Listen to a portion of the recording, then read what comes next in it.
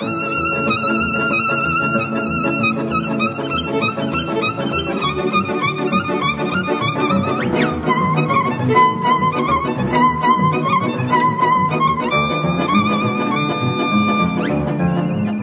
în fiecare fir al său câte o poveste, despre soare, despre flori, despre pământ, despre bucurie și iubire, despre unitate, despre viață și credință. Este legământul de milenii între sutele de generații de români.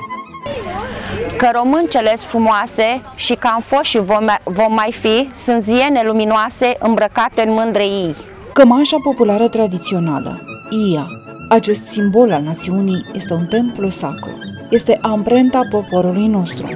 Iar cel care îmbracă ea se acopere cu istoria poporului care a creat-o, unic între popoarele lumii și care o înfrumusețează, mărturisind credința și satornicia. Ia românească este un liant între oameni diferiți, din zone diferite, dar care au același crez și aceleași valori.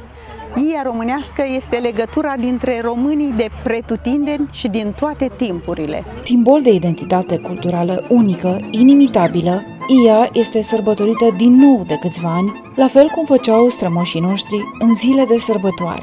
În semn de respect pentru valorile tradiționale ale acestui neam, tot mai mulți români poartă cu mândrie ia, așa cum au moștenit-o, sau stilizată, transpusă în obiecte vestimentare nou create. De Sânziene, pe 24 iunie, sărbătorim Ziua Iei Românești.